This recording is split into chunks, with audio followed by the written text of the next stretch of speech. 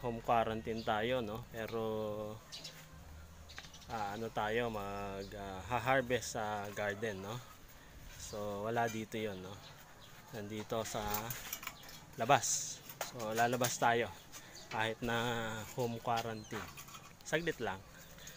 So ito ito yun no? So nandito yung anak ko. Tuturuan nating uh, ah, mag-harvest ng kangkong So ngayon ay ah, tuturuan nating ah, magputol si Tantan ng ano no. Sige, hawakan mo to syempre. Yan. So isa na yan sa kangkong. Yun, yung dulo. Sige. Yan. Sige na.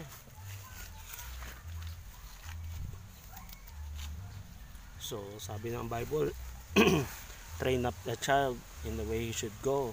And when he is old he will not depart from it no? So kaya nung mga kasi edad ko siguro kayo merong sa elementary may may farming o garden no? Sa high school ganun din. Ngayon wala na ata eh. Teacher na lang ata nag-garden ngayon doon so natapos na ni Tantan yung ano no? Yung ah, ah, mga kangkong no? Pag ah, putol pag harvest ito na siya dami no?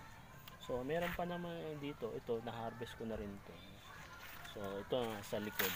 Yan susunod dyan. Tapos eh, ito nga nagtataka nga ako dito sa kangkong na to no? pare sabay sabay naman sila pero parang hindi to malusog no? Maliliit lang so susunod ko na rin yan so yun lang no So, marami pa naman akong tanim, no. So, sa susunod na episode, no, tuturuan ko uli siyang mag ah, ah, mag-farm, mag ano. Bye-bye.